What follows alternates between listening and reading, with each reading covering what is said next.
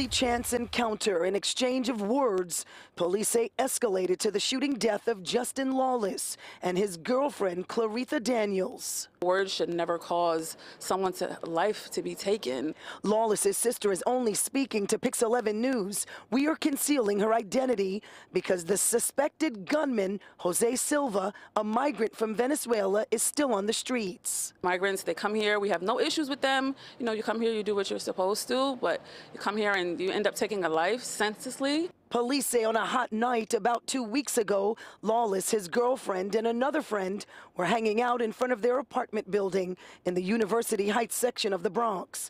Apparently, migrants, including Silva, took over parts of the building, allegedly squatting there. That caused an ongoing beef with the tenants of the building. After an argument with Lawless and his girlfriend, witnesses say Silva pulled out a gun, shot Lawless and Daniels in cold blood.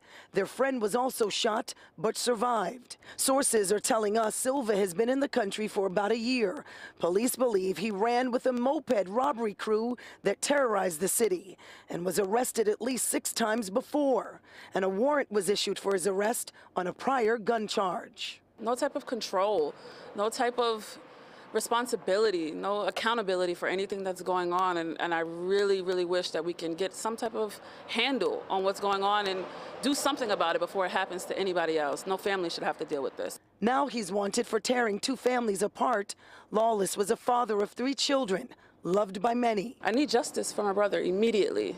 As you can see right there, candles are still burning for the victims. In the meantime, police are still looking for the suspect. You saw his picture right there in the piece. If you have any information on his whereabouts, call Crime Stoppers. The number's right there. It's 800 577 TIPS.